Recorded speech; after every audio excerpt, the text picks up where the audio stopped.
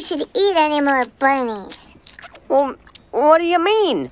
Mr. Nezzer said we could eat as many as we, we want. Well, don't you remember what our parents taught us? We shouldn't eat very much candy because it's not very good for us. Shack, our parents aren't here now. We're on our own. Besides, everybody else is doing it. Rack, Benny, listen to me. I parents aren't here right now, but I keep thinking of a song my mom used to sing to me a long time ago.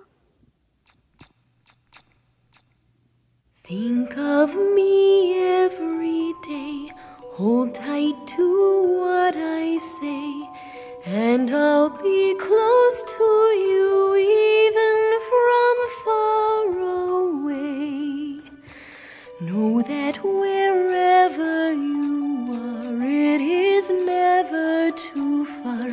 If you think of me, I'll be with you.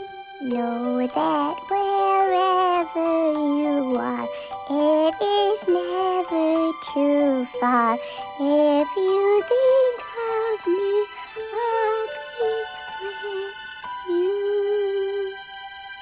You see, even though our parents aren't here right now to help us do what's right, if we remember what they taught us, it's kind of like they are here.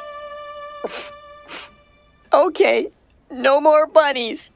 I'm doing it for my mom. Me too.